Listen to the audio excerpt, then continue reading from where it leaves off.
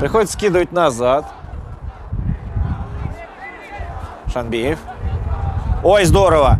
И вот теперь передача на Маликова. Маликов выскакивает к воротам.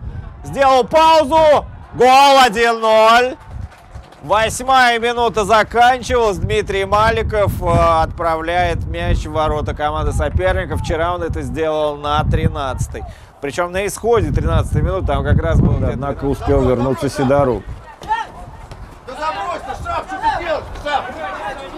Шанбиев сыграл не лучшим образом.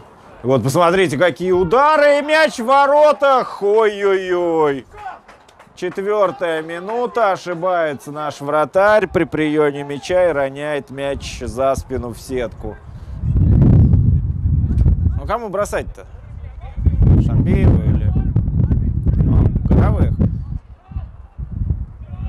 Мелкадзе забегает, видит его Полубояринов, делает ему передачу, прострел, наконец-то!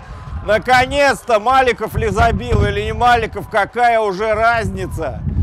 Мяч оказался в воротах, э, и в 2-1 мы повели 6 минут. Остается до конца. Я не могу сказать, забил Маликов. Наконец-то выносим мы мяч из своей штрафной. Здесь Маликов. Маликов себе пробросил его, и Мелкадзе надо выполнить передачу только. И Полубояринов это делает. Мелкадзе входит в штрафную. Мелкадзе против вратаря. И мяч в воротах 3-1. Ну, наконец-то. 59-я, предпоследняя минута, и Георгий Мелказ, ну вот теперь уж он забил, это точно. Ну что ж мешало ему раньше-то исполнить так, а? Что же у нас...